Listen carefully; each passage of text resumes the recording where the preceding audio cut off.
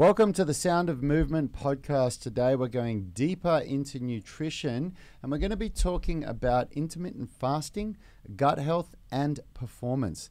These three things are linked together in ways that, if you understand, you are going to see some real improvement in your training. Oh, listen to this guy. Fucking We are the gym that teaches people how to move instead of just exercise because we believe that health is about performance, not just body image. Just get us back on the. Um, We are back. how are you guys? Sorry, we have a little bit of sound issue going on up there with Richie. Uh, we are Unity Gym, if you haven't noticed already. Uh, my name is Yanni Burmeister. Across the table from me, thanks, Captain Obvious. Across the table from me is uh, Ra- my brother Rad. Next to me is Phil White, our resident physiotherapist, smartest man in the room, and behind the uh, the, the, the technical glitches going on up there is our, our amazing tech whiz, Richie, the sexiest man in the room. Now, uh, what we want to do quickly is send some love out to everyone listening in on the podcast. I know we do stream these uh, live to our UMS uh, Facebook group, our Movement Mastermind Facebook group. If you haven't already, get over there, join the discussion live. Um, but we're looking at the, the metrics of our podcast this week because we're doing our annual planning, and it's really cool to see it growing. So thank you very much.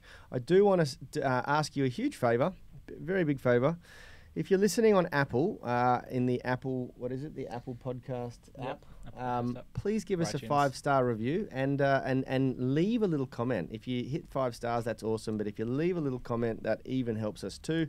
Just tell people about the podcast, about your experience, maybe something you've learnt.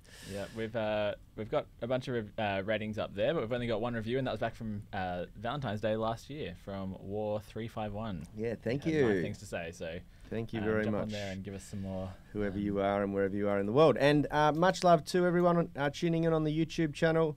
I know we uh, we've neglected you with our weekend workouts last year. It just got a bit much for us with COVID and everything, but we are going to kick that off again this year. We've got some good stuff planned for you guys too. So smash that like button if that excites you, and uh, let us know in the comments section on YouTube, and of course everyone on the UMS Movement Mastermind group. Question of the day Have you ever tried intermittent fasting or time restricted eating? We're going to talk about the difference between those two today. And if so, how did you find it? What were the results you got? How did it make you feel? We want to know all about it in the comments section. Now, I have to say my little disclaimer before we get started on any nutrition uh, discussion no one in this room right now is a dietitian or a nutritionist, as we would call it. Phil has a uh, exercise uh, and sports science degree. I have done a you know shotgun nutrition course, uh, and other than that, we're all just personal trainers, and we are passionate about nutrition. I'm a physio. and and and Phil's a physiotherapist. And I've got a PhD, but in being a dick. I've got Uh, a PhD in baloney. Baloney, that's right. So just please, you know, what we say, take it with a grain of salt. Um, um, you you can definitely learn from us. You can learn from our experiences. You can learn from our knowledge and wisdom. But if you have a specific issue that is related to nutrition, I do urge you guys to do exactly what we say if you've got an injury and you um, hear us talk about injury management or um, injury uh, sort of help. Uh, we recommend you to see a physiotherapist. Today, we recommend that you see a dietitian or a, uh, a qualified nutritionist if you have a very specific issue that you need help with around nutrition, or if you just want a customized diet. You know, it's it's uh, well worth seeking help from the professionals. How are we all this morning? Yeah, just another one on that, and another case is if you do have some health conditions that may impact your, um, you know, eating. So if generalized advice is maybe not right for you, then yeah, But yeah, going well. That's exactly right. How are you, Rad? Yeah, I'm good. I'm Yep. good. Yeah. How's that PhD? It's you know keeping me uh, on top of th- all things baloney. All things below. All things baloney. How are you, Richie? You got your uh, tech sorted? Yeah, um, it's fine. Yep. For some Yeah. reason, all of a sudden, the uh, the, the because people keep touching my shit up here. For some reason, all of a sudden, uh, the uh, the sound started coming out of one of Richie's m- uh, monitors up there. He's got a, a, a world of uh, like a, a- pretty elaborate a wealth of different monitors up there that Yeah. he's looking at, and uh, yeah, we had a little bit of uh, something something going on. So we're cramming two topics into one today, and it's good because they both correlate with each other. But just to give a quick recap this week, we have been sharing our biggest uh, sort of, I guess, lowest hanging fruit steps that you can take to um, impact your nutrition. We have a brand new group of um, awesome tribe members starting our 28 day intensive this week, and we want to cover some base level uh, nutrition principles. We call them the five laws of a great diet. I'll quickly recap. Uh, on on uh, Tuesday, we spoke about balancing energy to optimize your physique. That's obviously uh, calories in versus calories out matters. Uh, on Wednesday, we spoke about how to reduce or minimize systemic inflammation, and that was very important. We shared a couple of resources, great resources, yesterday in the comment section. If you haven't checked that one out, check it out. Today, we're talking about how to up regulate your healing pathways and how to build or and cultivate a healthy gut microbiome. Now, the key principle or the um, the first step that we use to intervene as an intervention for people's diet here at Unity Gym crosses over to every single one of these, which is to eliminate processed food. That's processed carbs, processed fats, and processed sugars. Neither of them should be vilified any more than the other. It's a, usually just a general combination of all three of those that uh, can become really problematic in the body. Uh, and that is going to help minimize your energy intake because processed foods generally have very little fiber, which generally increases the amount you consume.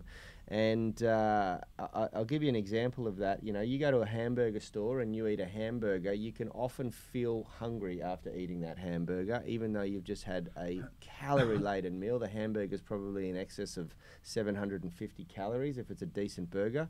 Uh, if you tried to eat 750 calories of broccoli, man, you'd feel full. Uh, so there's, that's just a, a bad time. a little example. Rad used another example of, of the difference between eating apples and apple and drinking apple juice. You know, about eight apples go into a glass of apple juice. Try eating eight apples, you'd struggle. And the reason is because there's a lot of fiber in apples. So, next we talked about reducing uh, systemic inflammation. And how do we do that? We reduce the amount of processed foods that you're eating, especially processed carbohydrates and sugars. Uh, but uh, it's, it's really the same rule applies.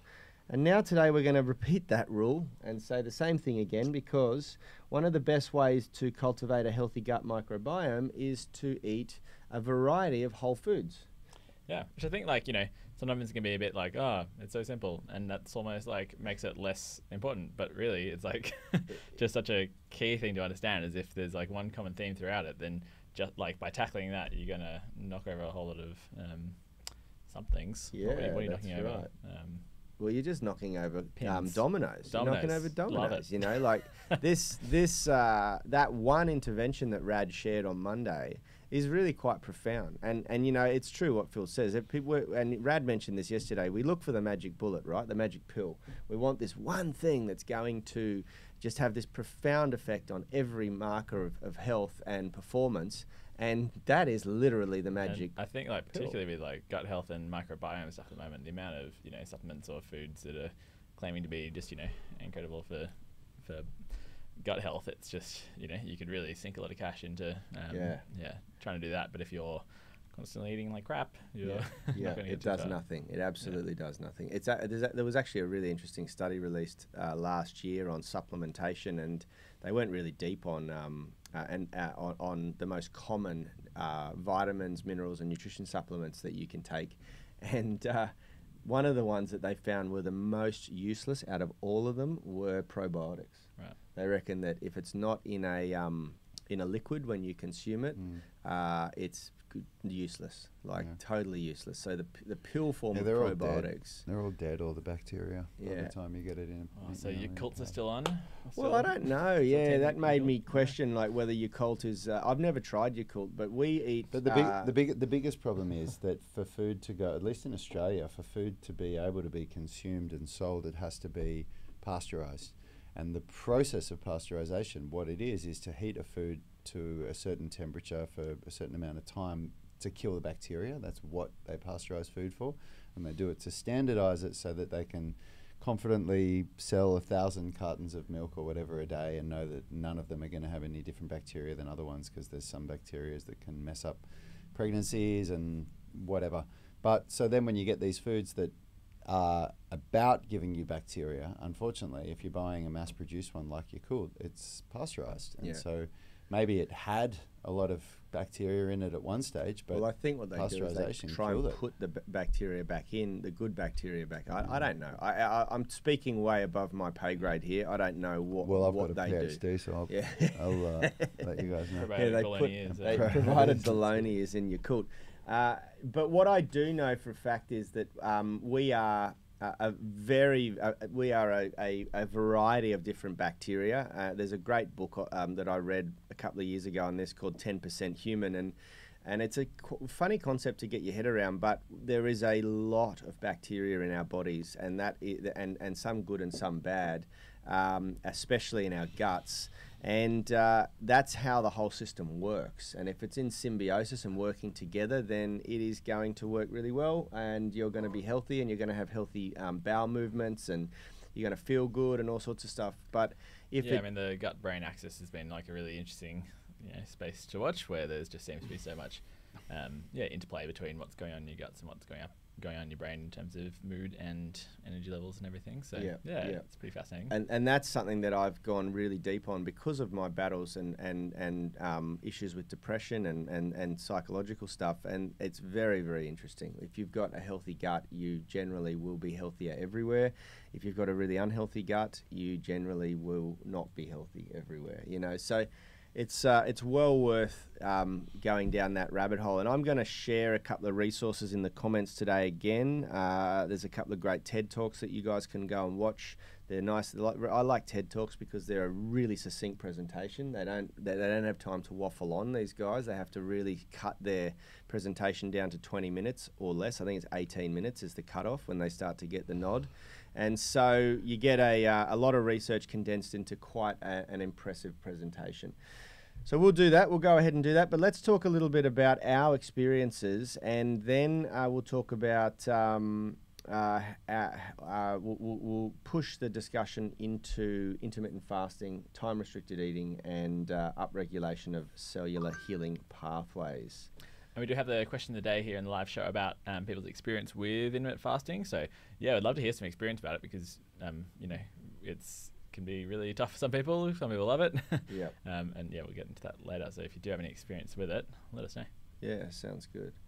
So, uh, who wants to share their first uh, story about gut health or intermittent fasting or something along those lines? Well, everybody's looking at me, so I guess I'll go.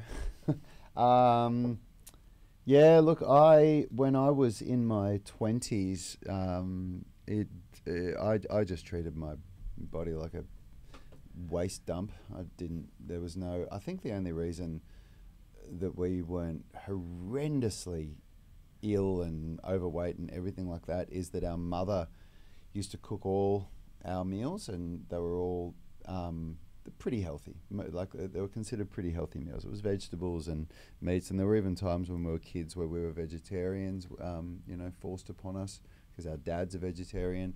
So we were definitely were exposed to eating vegetables and stuff. And I do remember even through the worst of it because it was because when our parents split up and Yanni and I lived with dad, dad just did zero cooking at all. He basically just said go to the shops and buy your own food. And so we were having microwave meals and things like that and just getting takeaway and whatever. But I, I do remember um, th- getting to a point where you there was something that was like, oh God, I need to eat something healthy. Like there was just a feeling within me. And, and then when Saskia, our sister, came down to live with us, and she was she was a very early teenager. She would only been in her early teen years, but she really wanted to learn how to cook, and she used to cook all the time. And I remember watching her cook and thinking, oh, I should try and do something, and learning a little bit from her. And so that was the only reason why we weren't as bad as we really were. But I got to a point, like you know, as being a personal trainer, and you start learning about nutrition and looking at what we ate, and I was just like, oh my god, this is insane.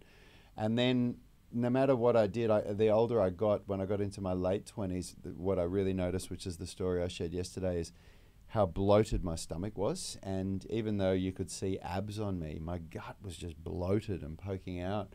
And I started asking my mom about that, and she told me what she knew about it and about inflammation and the, the general things that I could find. Like if you just do a basic Google search, the things that come up are um, you know, alcohol, uh, sugar, dairy, and gluten. They're whether they're true or not. You know, those are the things that a lot of people will say. You know, start by reducing those to reduce inflammation, and it, and it worked for me. And it was really really hard because I was having all of those in abundance, and the only way to really know if anything made an impact on you, because different people tolerate different things differently, is you have to re- completely remove one but not the others, and you have to see if that makes a difference. Yep. And that was really really hard for me. It was hard to remo- just remove one and focus on those, but nonetheless, I did um, I did remove those uh, those foods all or one at a time, and it made a massive impact on me. And from there, that started the the look into the gut microbiome, and then I started learning about um, you know the importance of fermented foods and food varieties, and what some foods can do to negatively impact the microbiome, and what some foods can do to positively impact. And for me, it's been a probably a 15 year journey that I'm still not 100% on. And where I'm still at now is the big the big win that I've had lately is that I've um, now two years in a row I've had no alcohol for five months, and this last year I actually did no alcohol for the three months leading up to New Year's Eve, and we did have some drinks on New Year's Eve, but I'm okay with that. I made that decision, and I'm, I consider myself now a non-drinker. And now my next big thing is that I'm going to completely remove sugar, and that's been the biggest hurdle for me. I I would be able to do it at, not at all during the week, but uh, and uh, um, on the weekends I would still have sugar, and now I'm just going to completely remove it.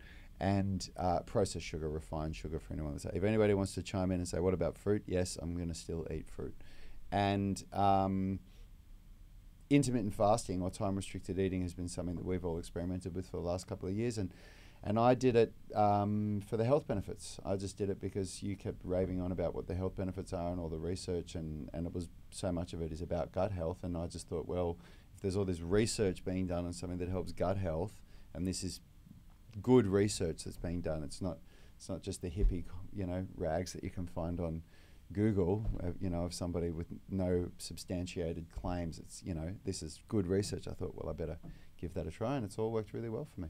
Yep. So that's my experience. Yeah, I've had pretty limited uh, experience with like focusing on gut health, but one thing that I have really loved is um, my dad has got really into making kombucha. It was I feel actually partially responsible. yeah, for it was actually after the first time I was ever on the on this podcast when we were out in the um, main part of the gym. Looking back in those videos, it's um, pretty Cracker, pretty mate. different. Yeah. Um, but yeah, he thought I was drinking a beer at um, you know nine o'clock in the morning while I was being interviewed on your show, and uh, and afterwards he was like, "Oh, what's kombucha?" And then I think it was one of the clients here um, who he was trying to cut alcohol, so he swapped it out for kombucha. And then my dad was like, "Oh, that's a good idea."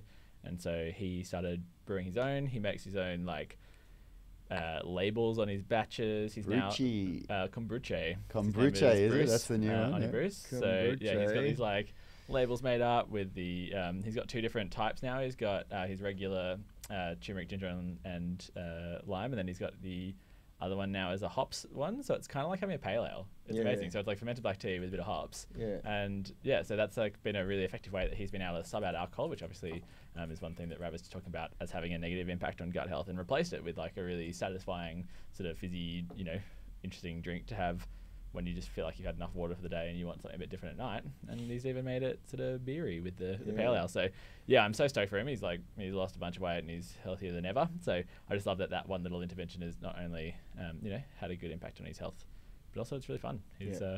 uh, Yeah. given a good creative outlet. So and he's putting some really good, healthy bacteria into his body. yeah, hundred percent. So um, yeah, for anyone out there who wants a new hobby, if you're stuck at home all the time, you know you might get a few exploding bottles every now and again. But we did. We we brewed our kombucha, our own kombucha for a few years, and it's just so delicious. It's so good having it, it on tap at home. When you get home, you just go, Yeah. oh yeah, yeah, amazing. And what about uh, time restricted eating? Because you had a good That's- experience yeah. recently with metabolic flexibility with one of your friends, one of our yeah, mutual exactly. friends. Like I, it's something that I've quite enjoyed doing for a long time because I'd always just wake up feeling like, I don't know, when I wake up, I just do not feel like eating. Like I just there's something about the thought of eating straight away that I just like can't handle. So. And you know you kind of get indoctrinated into that breakfast is the most important meal of the day, and like eat your Weet-Bix like a good you know young Australian Yep, kid yep. who should like cricket but doesn't. um, but then like so that was kind of the like you know I'd always just feel so sick and then I'd get really hungry by the time that like you know like I remember in school just being like recess coming around at like ten thirty and just being like I can't wait to eat like I Can't need. function yeah anymore. basically. And so it's been a really sort of nice change realizing like hey you know maybe humans didn't evolve always having like you know Weet-Bix and orange in juice the in the morning, morning, like maybe we can survive longer than you know Two like- hours without food. yeah, and so kind of got quite into giving that a go, and um, yeah, it's just been so amazing. I feel so much better in the morning, and I'm just um, yeah, I really enjoy it, and I love how it has um, like doing some exercise in the morning. I usually cycle to work, but I also and I got quite used to um, doing some you know cardio of some sort, often playing beach volleyball um, fasted, and it was really just quite an interesting experience with one of my best mates who is a big trainer into his powerlifting, into his CrossFit, really fit dude. And um, we went out for a cycle and it was about 80 Ks and um, I'd sort of just went off with, you know, just a black coffee and and by the time we got to like this hill about fi- like 10 Ks out of town, he's like, dude, we have to stop for food. And I was like, what are you talking about? We like just started. he's like, no, really. Like I had breakfast three hours ago and I am dying here. I'm like, mate, what? What? and so we, you know, stopped over, pulled over. He bought a bunch of food, kept cycling, and then like another hour later, he's like, mate, when are we having lunch? I'm like, I'm, I'm starving over here. I'm like, what are you talking about? but just having exposed my body to uh, exercising without um, without having like immediate fuel sources means that you've got that metabolic and the term metabolic flexibility means that like my body is not only like hell bent on relying on sugar to burn it, it can use other fuel sources, so namely fat, which you are mostly Yep. using in a um, yeah fasted state, especially at lower intensities. So it's been quite interesting to see that like performance benefit, um, Yep. which I think you know if you uh, you know survival wise makes a lot of sense. it makes a whole lot of sense. A whole lot of sense, and we're going to go really deep in that in just a second. I, I, but before I do, and before I share my experience with time restricted eating and intermittent fasting, uh, I want to just wrap up the the gut um, the gut component of this discussion because uh, you know, as I said, you know, none of us are none of us are, are, are really really. Um, adept on the research on this, and it, and, and the reason is that it's a, quite a new space. Uh, the gut microbiome, they're, they're, they're doing a good study here in Sydney. It's called the Gut Microbiome Project. You can Google that, and you can look. They put a lot of their uh, research and data available to everyone online. It's it's happening at Sydney University here, and it's a very interesting space to keep an eye on. What we do know for a fact is that the gut microbiome can be changed quicker than we first thought. It can happen in as little as sort of three days uh, uh, if you change the way you eat. We do know for a fact, as Phil said, that there is a very, very strong link between what's happening in your gut and how you what's happening in your brain, and and as a result, um, what you eat has an effect on how you feel physically, energy levels, um, uh, optimism, brain fog anxiety, depression, all of these things are affected by the state of your gut. And what, what's most important for people to understand is that it's actually what determines the foods that you crave. The bacteria in your gut uh, thrives on what you eat. So it creates this circle where what you're eating is cultivating the gut microbiome, the bacteria in the gut, and that bacteria in the gut is uh, producing feelings, sensations, urges in your brain that help you stay in that loop. So if you're very used to eating junk food, then your gut microbiome will be programmed to want to consume yeah, that junk Like, food. I hadn't thought about it like that, but yeah, the thing that's getting the most feed will food will obviously grow the most, and then be That's the exactly Yeah, right. and then that's the strongest Ah, um, uh, urges that you get. so it's creating this cycle that's very hard to break out of because here's the thing. To ch- although we can change the gut microbiome in, in as little as three days, during the process of changing it, the bacteria that was thriving on the foods you were eating prior to the change are going to have to start to die. and during that process, they really make you feel like crap. put up a fight. Yeah, they put they really put up a fight, and so often it's very difficult for people to get uh, to get through that period. We call it the transition period in our protocol here at, at Unity Gym. And the easiest way to do it is literally to go cold turkey. Uh, we start with a carbohydrate deload because most of the uh, the abundant um, gut bacteria is um, uh, is cultivated by in, in in a Western diet anyway is cultivated by eating highly processed carbohydrates. That's what we tend to have grown up on. Weet-Bix is a good example for breakfast. You know, and uh, and so what we do is we do a week long gut um, uh, repair protocol, which is where we just deload people from refined and processed carbohydrates and sugar. And on the last day, we have zero carbohydrate and sugar, and that's not because we are um, uh, high fat, high protein diet zealots. We we just uh, like to really kick it in the gut, metaphorically speaking, uh, get rid of that bacteria quickly. And it and it's like tearing off a band aid. So for that week, you can feel pretty lousy, but we get it over and done with, and then you can move on and rebuild and recultivate your gut microbiome. So the keys here, so I don't ramble on about this for too long, is that we uh, we basically reset the gut over a three to seven day period by removing the foods that are most problematic to you um, step by step. Uh, you know, it's kind of hard to do it all in one go, and if you do do that, that's an option. You're going to feel like crap, so just embrace that. You know. For three to seven days, you can feel really lousy, and it really depends on how bad your diet was. Uh, your your gut's going to be completely programmed. Your gut microbiome is going to be um, uh, nourished by the foods you were eating, and if you want to change that, you're going to have to sort of let that transition period occur. Does that make sense? Yeah, Have I love it. made that Yeah. simple enough? Yep. Okay. So um, if you if you are cha- changing your diet, just embrace that transition period. It's going to suck. Uh, make sure you don't have anything really important on at work that you have to do because you're going to get brain fog. You're going to get moody. You're going to be really snappy. You're going to find it hard to do things like problem solving. Uh, and I find that it's best to do over a weekend so you don't go into a really important meeting and just tank it. You know, like if you've got a sales pitch to do or something like that, you're going to lose that uh, in a big way because your brain's just not going to function very well. So, um, my experience with time restricted eating, intermittent fasting came about after having my first child. I'd never tried it up until that point, and uh, I have a f- uh, like uh, most of the study that I do nowadays, guys. I have a um, a, um, a confession to make. It doesn't have a lot to do with health. It's more about finance uh, because of the position I'm in in the gym, and it's more about business. Uh, and so I have chosen a few people who I uh, believe are authorities in the industry of health and fitness. Uh, Phil is one of them. Um, uh, a good uh, a good friend and old mentor of mine, Tony Battaji, is one of them. We have a great friend, Aaron McKenzie, who has a business called Origin of Energy, who's one of them.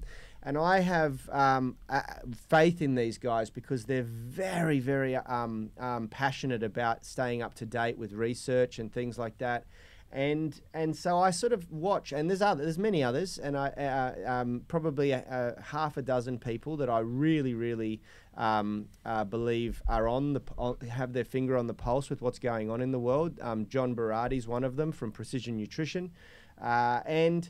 I just keep keep looking at what these guys are posting about and talking about and blogging about, and uh, and when they start when they all start to talk about something, I pay attention. And one of Mikulski is another good one. Ben Pakulski is another good one, uh, and and they all started talking about time restricted eating and intermittent fasting. Um, there's a great podcast called Found My Health by Dr. Rhonda Patrick. Uh, she's another person that I follow. Uh, Layne Norton is another person that I follow and really um, trust. Uh, and I noticed that there was a trend with a lot of them talking about this thing called time restricted eating and intermittent fasting a few years ago, and I started to pay attention. Then after we had our first child, I was heavily impacted. My sleep was impacted, and that then bled, bled out to other areas of my life. And I stopped exercising as much, and I started eating a little bit more. We got a bit lazy around the house because we were just exhausted, and we didn't prepare as much food. We we ate takeout a bit more and things like that as we were trying to adjust to having a new baby in the house. And it wasn't long before I stepped on the scales and noticed that I'd put on eight kilos, which was the most fat I'd, I've ever put on in my entire life. And, uh, and it really knocked me. I was like, wow, I've got to get on top of this. So I went back to really doing the things I used to do, and I and it was I was in my 30s. I was uh, mid 30s at the time, And I noticed that it was just really hard to shift the weight. I, I couldn't exercise to the intensity and duration that I used to. And the uh, things that I used to do, which was just to remove processed foods and, and uh, eat high protein uh, and low carb, just didn't shift the weight very quickly at all. Like I was losing weight, but God, it was happening slowly and it wasn't very motivating. I was starting to get quite demotivated. So I thought, wow, I'm going to try something different, and uh, and that's when I decided. I've been reading about this uh, this time restricted eating, intermittent fasting, and I thought maybe I'll just try that. Maybe that will get, uh, give me the nudge that I needed, and so. I started doing a 16-8 time restricted eating regime. Uh, the difference between time restricted eating and, and intermittent fasting, intermittent fasting actually means the abstinence from food for 24 or more hours. So most people that think they're doing intermittent fasting are actually doing what's referred to as time restricted eating, which is really just having uh, blocks of time where you consciously do, do, not consume food or liquid that has anything other than sort of water or, or uh, black tea or coffee in it. And uh, and so the, the most obvious one is 16.8. A lot of people talk about that. You can even do 12.12 uh, to get started. And it really had quite a profound effect on me. Not only did I notice that I lost the weight really quickly, so so quickly that uh, Kalisha jumped on board and uh, she started doing it as well to lose her sort of um, mother baby gaining weight, but it actually improved my mental state and it had quite a profound effect on my mental state. It, it made me feel sharper when I was not eating. I, f- I got more work done. I was more productive. I was more effective at what I was doing. And um, very quickly, I started to find that it improved my performance uh, in the morning when I was training. Uh, in a fasted state, I started to have more energy in my training sessions, and I started to really notice you know, initially I started only doing it two days a week, and then I started doing it five days a week, and I was still just eating whatever on the weekends. And then I just noticed that whenever I ate, I felt like crap. So I just started doing it on the weekends as well. And the only time I ever faltered from that regime of having breakfast at midday at 12 o'clock or 1 o'clock in the afternoon was if we had like a social event that was like a meetup with friends and we had breakfast at 10 but I always had breakfast and then I'd need to just go and lay down for a while. Like it was like, like taking a sleeping pill, you know? And so there was just no, I, I just thought, why would I do that to myself, especially when I'm at work, you know? So it had all these really, really quite profound effects. And, and, and I, uh, I, then what I do naturally after I have such a good result with something is I go deeper into it, learning about, okay, what's going on? Why is this happening? And I started to study more and more. And that's when I was referred by Tony Battaggi uh, to, to check out Dr. Rhonda Patrick because she just has this amazing podcast and interviews so many amazing people. And uh, she had interviewed a couple of the sort of um, authorities in time restricted eating, intermittent fasting, who are conducting most of the research on this. And and I noticed that uh, there was a series, there was a consistent theme going on. Every year, there's Nobel Prize, um, uh, uh Nobel Prizes awarded in all these different categories. And in the category of health and medicine, the uh, two Nobel Prizes for 2016-17, or might have been 15-16, were awarded to people uh, for their discoveries in uh, what's called circadian rhythm and circadian health, and it was very, very correlated to this concept of time-restricted eating. And so I started to really notice that this was a really, really big, important area of research that we're learning more and more about. And, uh, and I got very, very passionately into it and following it. And now I'm a big proponent of time restricted eating, circadian rhythm, circadian health, and how that affects your health. And what I'm going to do, because we don't have time to really dive into it here today, but I'm going to link a few of the TED Talks and a couple of the interviews that I'm talking about here with Donda, uh, Dr. Rhonda Patrick um, eh, so you guys can can dive down the rabbit hole if you want to too. But what I'll leave the um, uh, discussion today on is just quickly go around the room for everyone who's uh, experimented with this a little bit. Phil's already shared, but he he can repeat that again to summarize, and Rad can share as well. The big things for me were that I found, and, th- and this is very important, is that when you start time restricted eating, and we've had some good um, feedback here. You know, Roy Stern said it was easy and he's losing weight. Jody Buttles saying intermittent fasting again now, eating between 12 and 7 p.m. Easy at the moment, but found it harder when training at Unity Gym at lunch, not eating till after 2. She's saying love kombucha. It untethers you from food.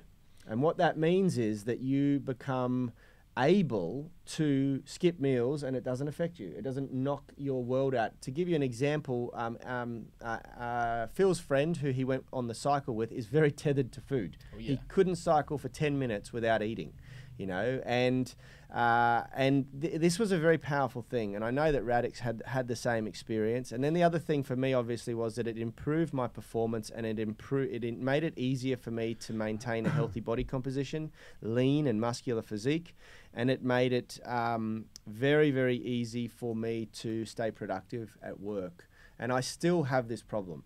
We eat around 12, 1 o'clock. And after that, my productivity just tanks. I just get go. Oh God! I, I uh, in the morning I'm Time really nap. Yeah. switched on. Yeah, it really makes you feel like time for a nap. And I watch it happen to Rad every day too. He goes and eats, and then he has to have a nap straight after. I mean, he's up early and starting very early in the morning.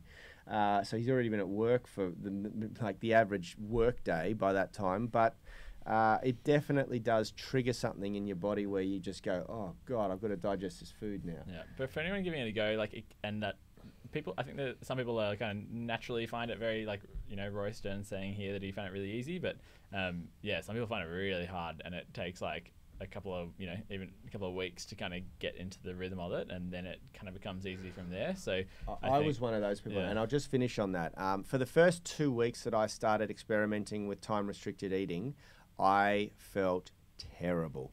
I'm telling you now, I was one of those people who had trained my body to need food every two to three hours because I was heavily into bodybuilding for a decade.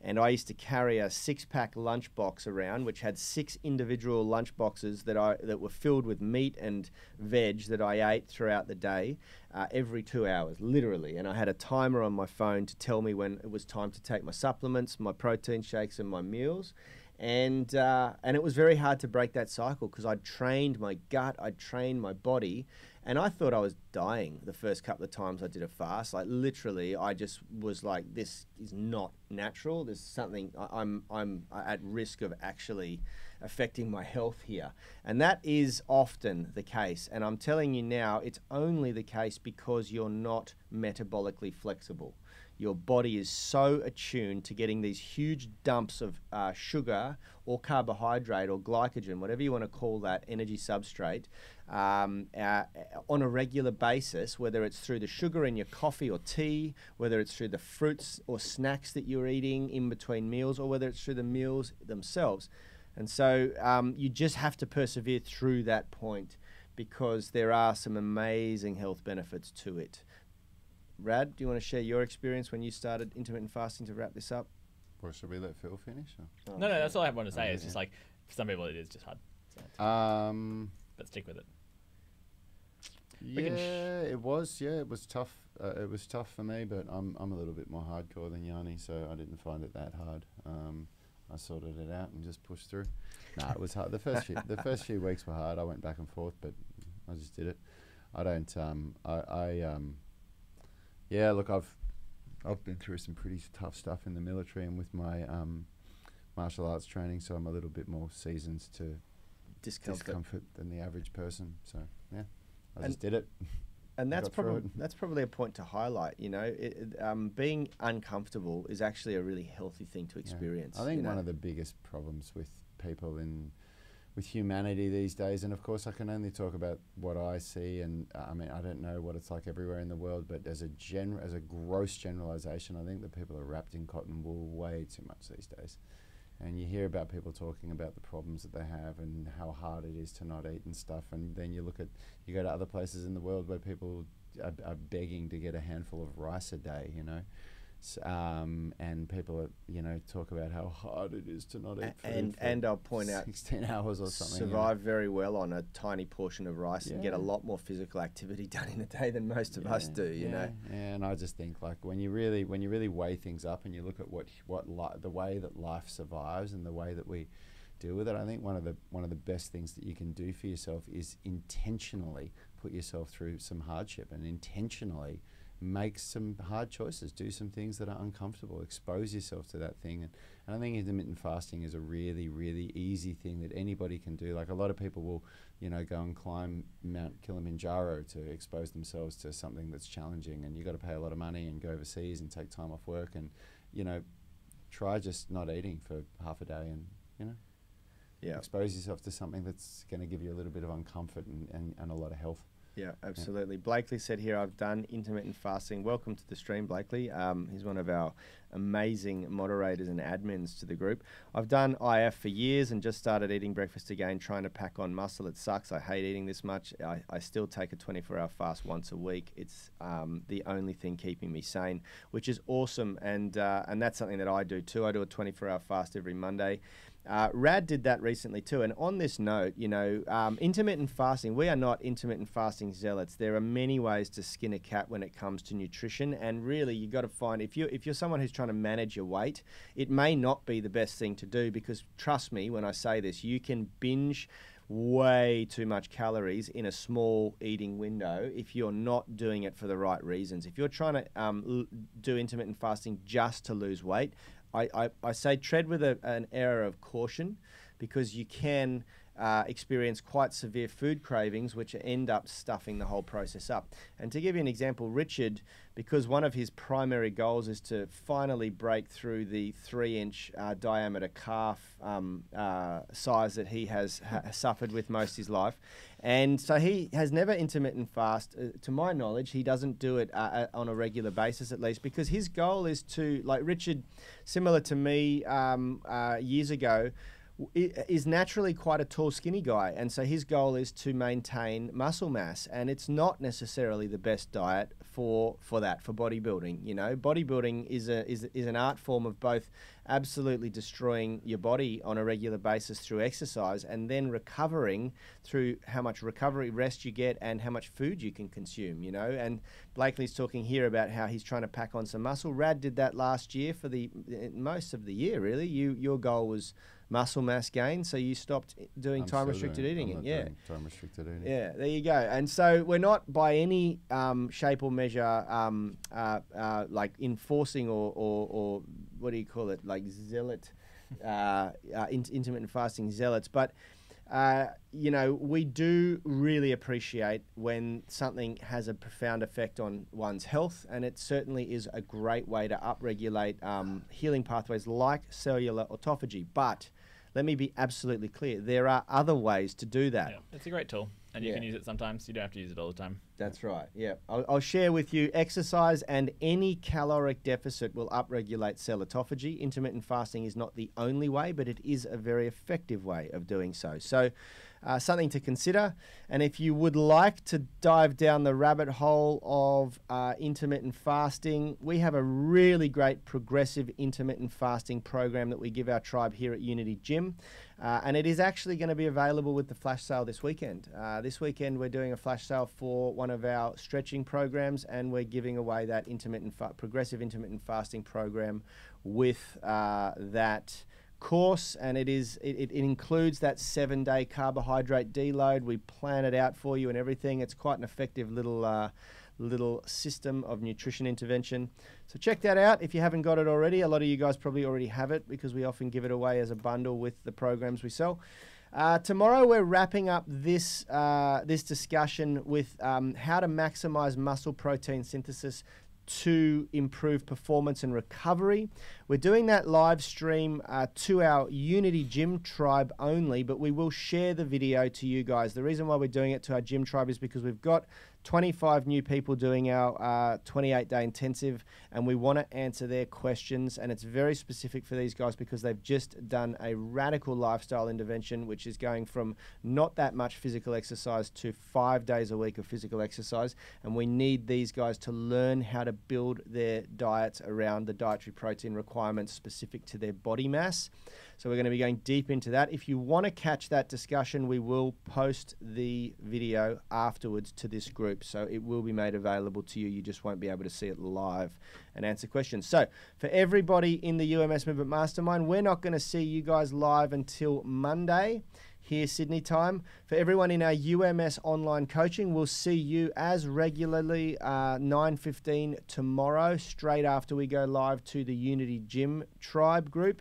Uh, for your weekly group coaching call, uh, get your questions in, post your videos, uh, and uh, we'll be on there to give you that support. And for everyone in the Unity Gym Tribe, uh, like Jody, Uh, get ready for the deep dive tomorrow to wrap this nutrition discussion up, guys. Thank you. Thank you, Phil. Thank you, Rad. Thank you, Richie. We'll see you all tomorrow or Monday. Health is about performance, not just body image. You better be willing to accept what you're going to have to do to get there. We'll start focusing on movement goals, strength goals, flexibility goals. When you nail that skill, that's there forever. the body image goal doesn't get you that It's the consistency and frequency that's going to get you there. It's not the intensity. There's no shortcuts to mastery and movement. Destination doesn't change overnight, but your direction will. It's the gym is not the place to beat up the body that you hate. It's the place to build the body that you love. We are the gym that teaches people how to move instead of just exercise because we believe that health is about performance, not just body image.